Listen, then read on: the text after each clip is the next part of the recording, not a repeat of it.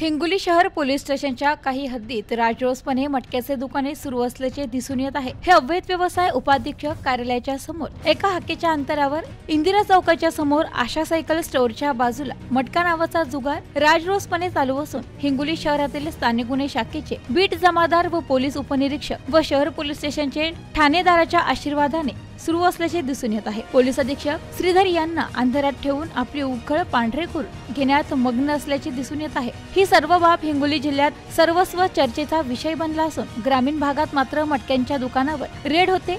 शहराच्या ठिकाणी का होत नसेल असाही प्रश्न सर्वसामान्य जनतेला पडत असून याकडे पोलीस अधीक्षक लक्ष देतील काय? हा व्यवसाय मात्र वरिष्ठ राजकीय पक्षाच्या नेत मंडळींच्या आशीर्वादाने चालू असल्याचे सर्वत्र चर्चा हिंगोली शहरात व जिल्ह्यात होत असल्याचे दिसून येत आहे. प्रतिनिधी Parshuram Jadhav News Today twenty four Hingoli.